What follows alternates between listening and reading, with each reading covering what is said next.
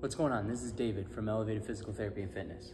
Today I'm going to go over some of the flex bar exercises that we'll do. Um, oftentimes this is for someone who's dealing with some lateral epicondylitis or a tennis elbow. Um, I do it with other folks as well after wrist injuries and hand injuries and stuff, but that's just the most common.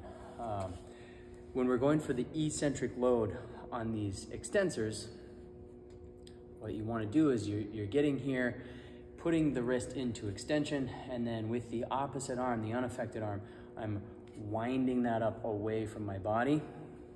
And now I'm gonna slowly control that back to neutral with this right wrist that I'm working here.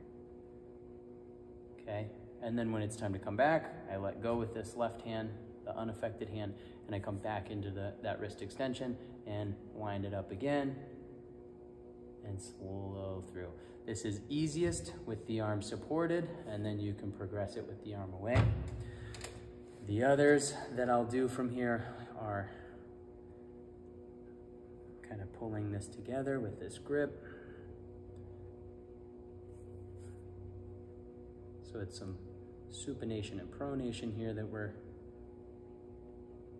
getting combined with some wrist, usually wrist flexion, but some extension and on this one here, okay?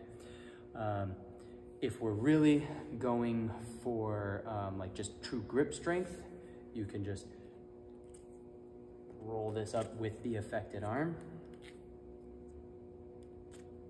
and you can get into twisting and pulling in, get those flexors and extensors really involved during that, okay?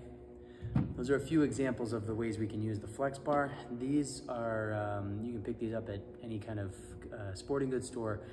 There's obviously the knockoff Amazon brands and things like that that you can grab so that you can do these at home um, and, and kind of continue on the program here. Give those a shot. Let me know what you think.